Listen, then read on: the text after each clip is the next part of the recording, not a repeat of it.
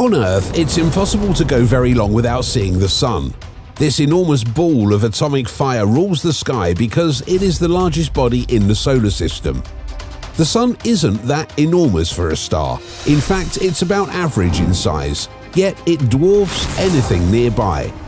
The Sun appears enormous from our vantage point, however it does not appear to be as large when viewed from the outer reaches of our galaxy.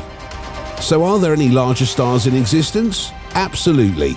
Our Sun is a yellow dwarf, which is a little smaller than the normal star in size. The big stars make our Sun appear insignificant. So, what is the biggest star ever discovered in the universe? How big and frightening can they really get? Let's find out. Our Sun receives a lot of attention in terms of stars. Life on Earth practically revolves around it, and from our vantage point at least, it dwarfs the other stars in the sky.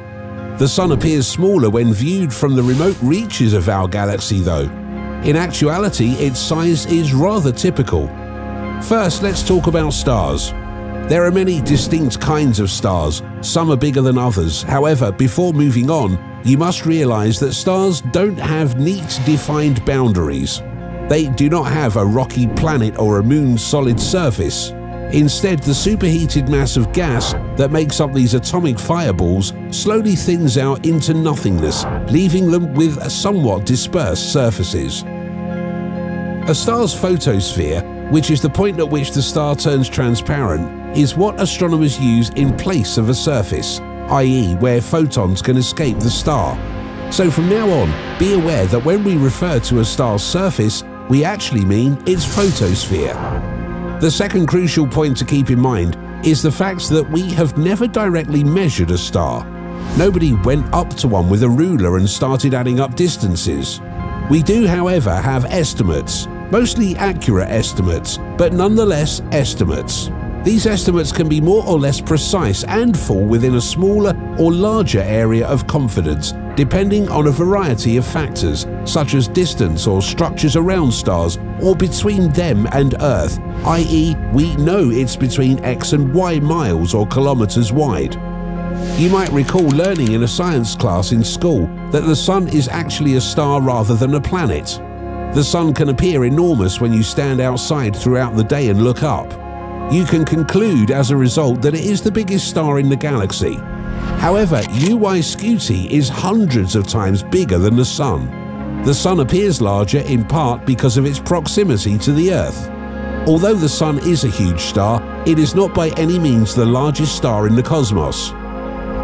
What is the largest star that has been discovered in the universe? The answer depends on whether you're referring to a star's mass or total volume or how much space it occupies, according to Phil Massey, an astronomer at the Lowell Observatory in Flagstaff, Arizona. When it comes to size, the heavier stars are frequently unimpressive, while the most massive stars are frequently faint stars. That's because older stars have the propensity to expand and lose mass. The tallest people might not weigh the most, Massey added, comparing it to humans. Consider that you are discussing mass, the star R136A1 holds the record there. It is situated in the Large Magellanic Cloud, a tiny galaxy that revolves around the Milky Way around 160,000 light years away from Earth. Imagine a cherry next to a gigantic yoga ball that is more than 200 times more massive. This star is 30 to 40 times the size of our Sun in terms of diameter. This star is also quite young, having lived for only a million years as opposed to our Sun's 4.5 billion years and hasn't done any cooling off or expanding. There are several contenders if the definition of the largest star in the universe is the one with the largest diameter, and UY Scuti is at the top of that list. Astronomers at the Bonn Observatory in Germany first noticed it in 1860 and gave it the designation BD 125055. After more observations revealed that BD 125055 changes in brightness and magnitude over the course of 740 days, it was determined to be a variable star. The diameter of this red hypergiant is approximately 1,700 times that of the Sun. Remember that supergiants are bigger than giant stars, while hypergiants are bigger still. Hypergiants are extremely rare and have dazzling lights. Additionally, they lose more mass to stellar winds than smaller stars do. If UY Scuti were to replace the Sun as the primary star of our solar system, its photosphere would reach beyond Jupiter's orbit, giving you a sense of its size. Jupiter and the Sun are separated by 484 million miles, or 779 million kilometers. A 400 AU long nebula would be formed by gas coming from the star. One astronomical unit, AU, is the distance between the Earth and the Sun. This would effectively extend well beyond Pluto's orbit. The average orbiting distance between Pluto and the Sun is 39.5 AU. UY Scuti would be a spherical 10 stories tall if the Sun were a cherry. But measuring the diameter of very far off stars is fraught with uncertainty. UY Scuti is located in the constellation Scutum, other words, Shield, approximately 9,500 light years away from Earth, give or take 1,000 light years. Because stars seem brighter up close and dimmer at a distance, astronomers must know how much light the star produces in order to do this. You end up with a wide margin of error when you combine that with the fact that red hypergiants like UY Scuti are frequently variable, meaning their brightness changes over time. Variable stars' sizes frequently change as a result of variations in brightness.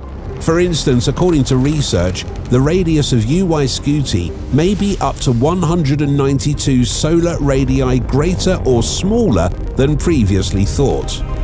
If the lowermost value is accurate, other stars would be larger than UY Scuti by about 30 times its smallest estimated size.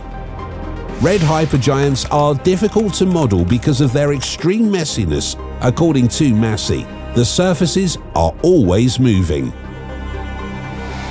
On the other hand, WOHG 64 might be the biggest star in the cosmos if it weren't for UY Scuti.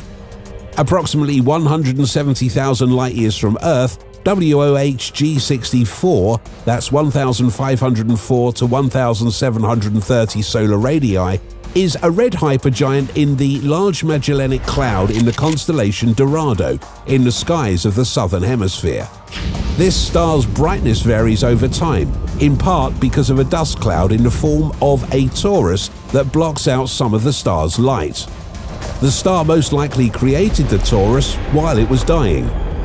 WOHG 64 once had a mass greater than 25 times that of the Sun, but as it got closer to going supernova, it started to lose mass. It has lost between 3 and 9 solar systems worth of material, according to astronomers' estimates. Additionally, there is VY Canis Majoris, which is 8.2 million years old. Originally thought to be between 1,800 and 2,200 solar radii in size, the red hypergiant star VY Canis Majoris has since had its estimate revised down to 1,300 to 1,540 solar radii.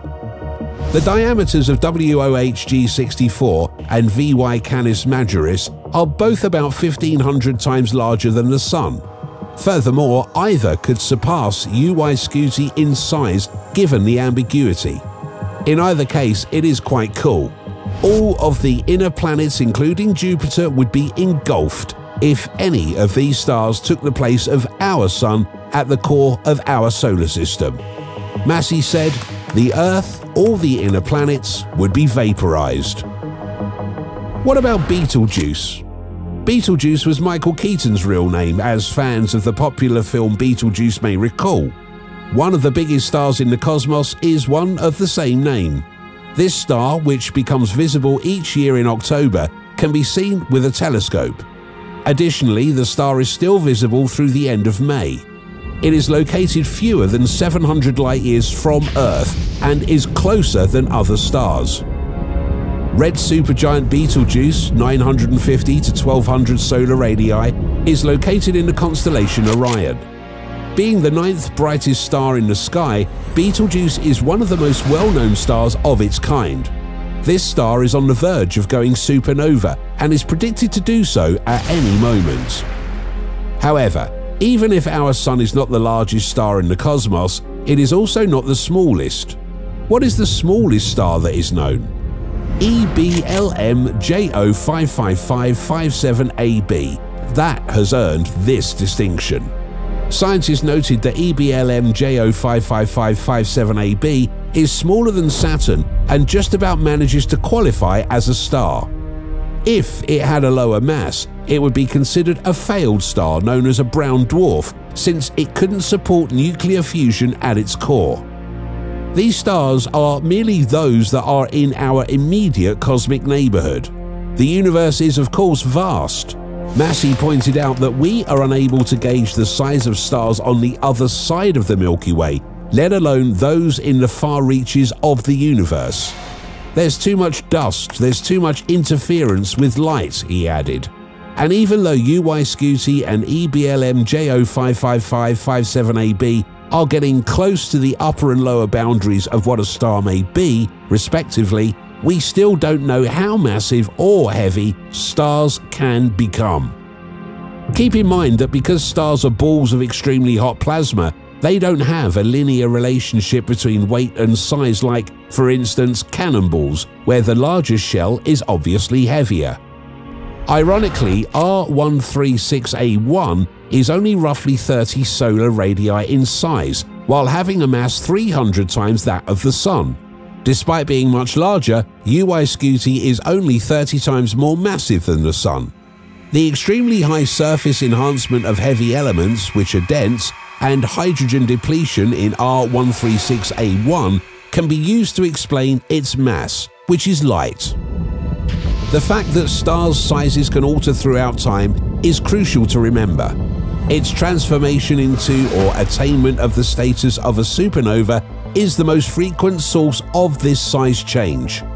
According to NASA, a supernova is a star that has experienced an explosion that causes it to shed a sizable amount of its mass. A dying star releases its mass into the universe and forces it there. Some of that mass may be absorbed by other stars, increasing their size astronomers and NASA have compiled a list of stars that are close to going supernova. A telescope is the best tool for viewing some of the largest stars in the cosmos. A professional or base model is available that enables you to see the stars and constellations like Orion and the Big Dipper. You can also go on a tour and look through a bigger telescope if you live close to an observatory. Many of these facilities are accessible to the public. While UY Scuti is the largest star in the universe, a telescope can also be used to observe other large stars. Thanks for watching another episode of Voyager. While you're still here, make sure to click the video on your screen for more mind-blowing videos about space.